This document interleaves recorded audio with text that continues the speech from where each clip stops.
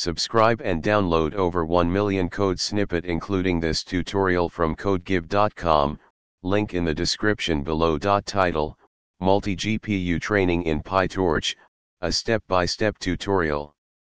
Introduction PyTorch provides a powerful framework for deep learning, and utilizing multiple GPUs can significantly speed up the training process for large neural networks.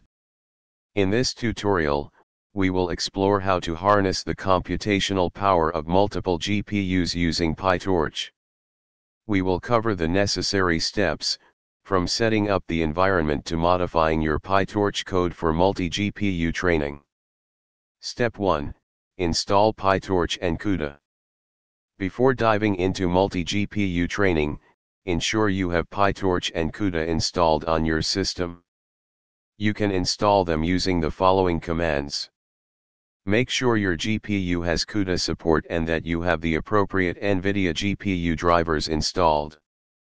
Step 2, Import necessary libraries. Step 3, Define your neural network.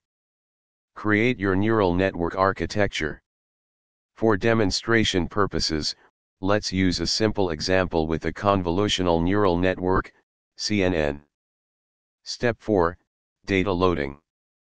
Prepare your dataset and create a data loader. Step 5, Model and Data Parallelism. To enable multi-GPU training, you need to wrap your model with torch.nn.data parallel. This code checks if there are multiple GPUs available and wraps the model accordingly. Step 6, Define loss and optimizer.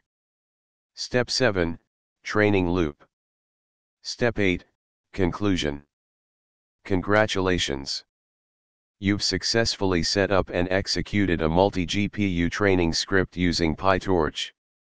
Remember to adapt the provided code to your specific use case and model architecture. Happy deep learning! ChatGPT